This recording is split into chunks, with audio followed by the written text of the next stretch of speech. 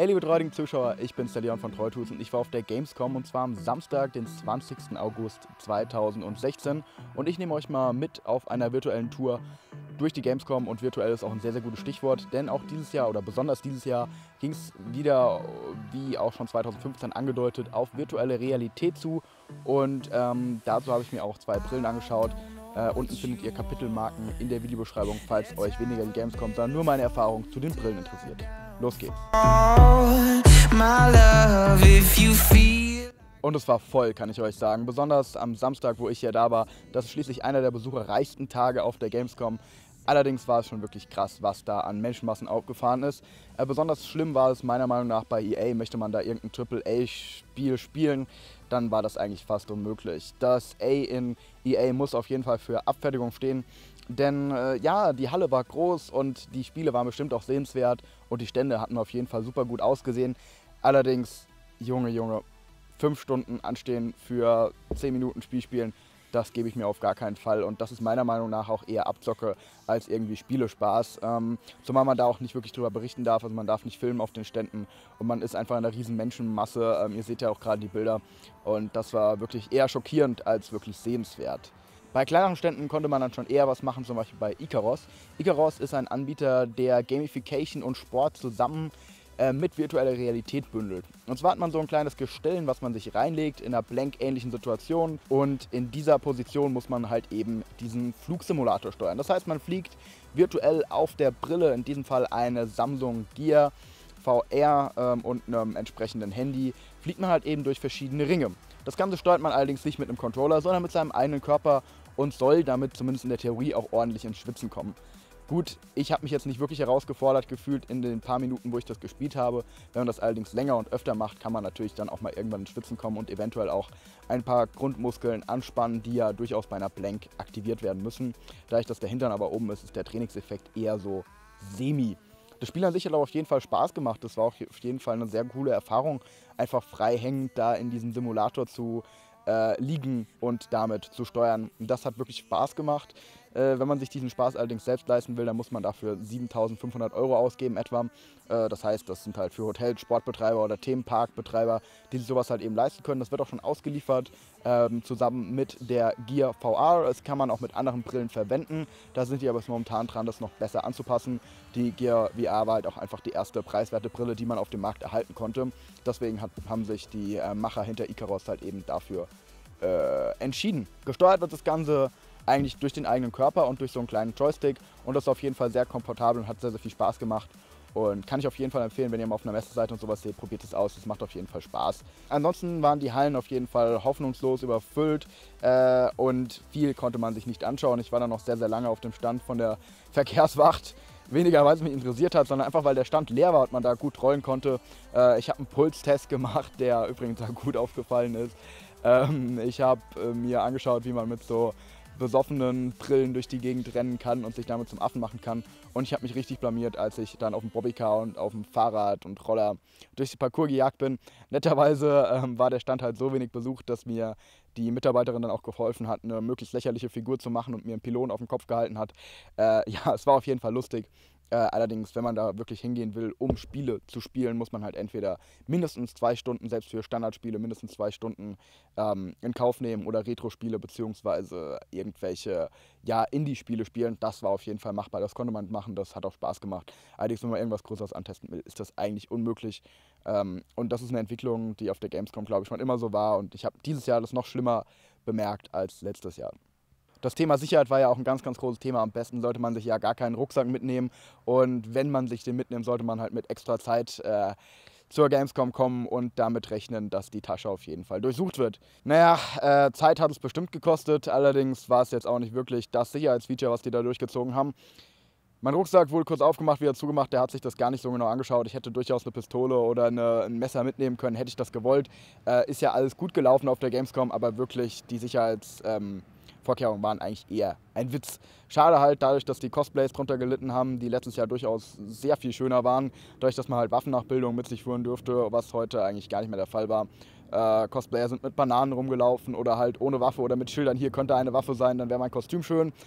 Ja, das war halt ein bisschen unzufriedenstellend, dadurch, dass halt die meisten Cosplays von waffenähnlichen Gegenständen leben. Auch die YouTuber sollten wohl nicht mehr so äh, auftreten in der Öffentlichkeit im normalen Bereich. Äh, hinter Halle 8 unter der Brücke war dann auch eigentlich nichts los, außer Red Bull-Werbung. Dort sind dann eigentlich auch keine YouTuber mehr rumgestiefelt. Das war auch ein bisschen äh, merkwürdig. Unge hat man häufiger gesehen, der hat sich dann hinter Fanmassen äh, weggeschlichen äh, beziehungsweise weggesprintet. In Halle 6, glaube ich, war das. Dann habe ich jetzt hier gerade einen Eindruck mitgebracht. Ey, das war jo, Unge läuft rum und erstmal so haufenweise Leute ihm hinterher. Das war schon wirklich krass. Ich habe mich später nochmal im Flur getroffen, wo er dann durch, ein, durch die, die Snackbar gerannt ist, um möglichst wenig Leute auf sich aufmerksam zu machen. Aber es ist halt ein Querkauf anscheinend, der hält sich da nicht so wirklich an Sicherheitsvereinbarung und rennt dann halt durch den normalen Bereich, da durch die Business Area. An sich Gamescom auf jeden Fall wieder sehenswert, aber viel zu viel los. Das müsste man irgendwie anders machen, weil ich gehe nicht zur Gamescom, um irgendwie fünf Stunden äh, in einem Spiel rumzuhängen und das dann zehn Minuten zu spielen oder fünf Minuten das ist mir auf jeden Fall zu doof und ich stelle mich auch nicht als verhaltensgestörter Teenager in irgendeine Menge und äh, schreie möglichst laut, um irgendwelche Schlüsselanhänger zu bekommen. Das ist mir auch auf jeden Fall zu doof. Kommen wir zum eigentlichen Highlight der Messe und zum Kernthema, unter der die Gamescom ja stand, virtuelle Realität. Und da habe ich mir zwei Brillen besonders angeschaut. Einmal die HTC Zen. Was geht hier ab? Ich gehe mal weg. So, ich bin dann mal in mein Zimmer geflüchtet. Äh, die Location hier ist zwar nicht so geil, aber hier wird tendenziell eher weniger geschossen. Äh, wer weiß, wer hier auf dem Dorf mit irgendwas rumläuft. Ähm, naja, ne? Apropos rumlaufen. In der virtuellen Realität kann man ja auch ganz gut rumlaufen und das war auf der Messe ja wirklich das Standardthema. Ich habe mir die HTC Vive angeschaut und auch die Oculus Rift. Ich berichte erstmal über die HTC Vive.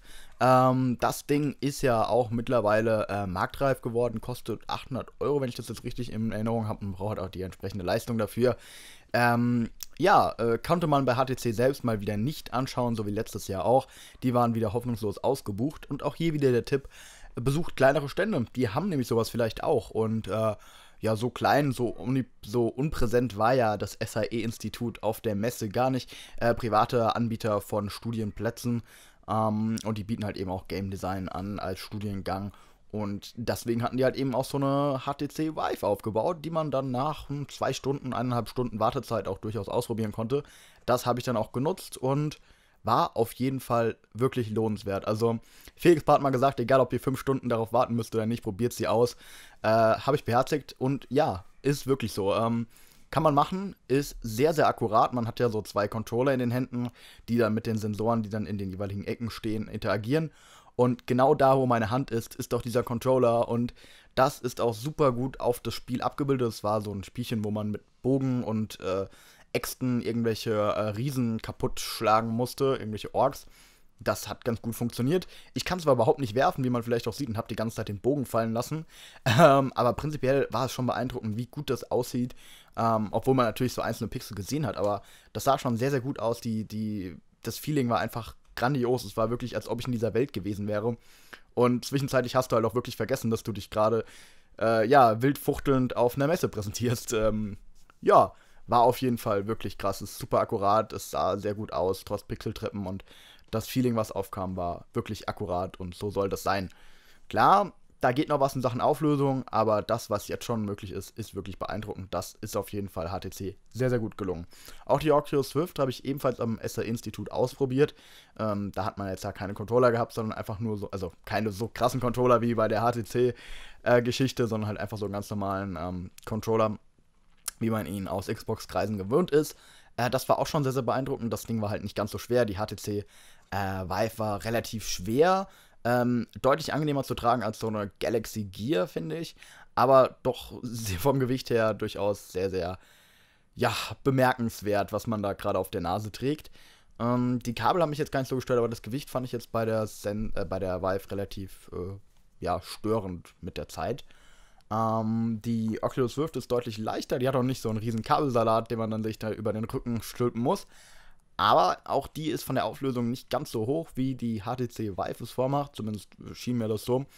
Ähm, war trotzdem beeindruckend, ihr seht ja jetzt gerade im Video, wie ich mich zweimal erschreckt habe, ähm, weil ich da so die Kamera um mich rumfahren lassen habe und dann gegen so ein äh, Beton-O gefallen bin quasi und mich jedes Mal erschreckt weil ich dachte, ich, mir, mir war es vollkommen klar, dass ich gerade in so einer virtuellen Realität bin, aber das war halt trotzdem so, so ein Brainfuck, als ich gegen dieses ähm, Beton hingeflogen bin. Also das ist, das ist wirklich sehr, sehr beeindruckend.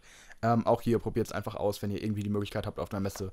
Nehmt euch die Stunde Zeit oder so und checkt das mal aus, wenn ihr nicht selbst zu viel Geld habt und einen guten PC, um das auszuprobieren. Das lohnt sich auf jeden Fall.